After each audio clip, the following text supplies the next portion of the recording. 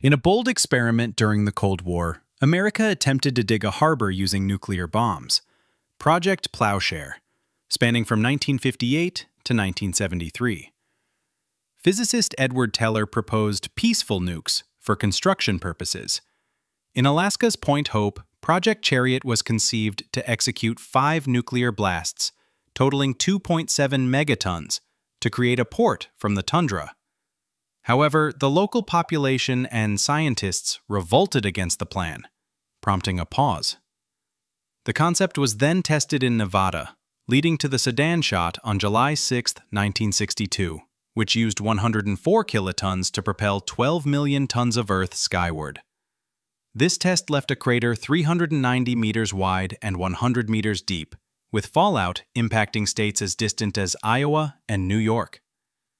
By 1977, the program was abandoned. Too dirty and too risky. The crater remains today, a relic of ambition, inviting visitors to tour its depths.